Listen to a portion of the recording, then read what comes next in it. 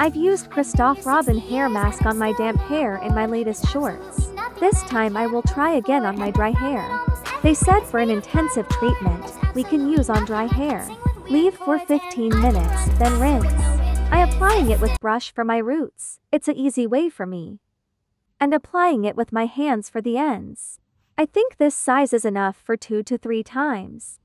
In my experience, in this way my scalp feels cleaner, but my ends feel smoother when I've used it on my damp hair.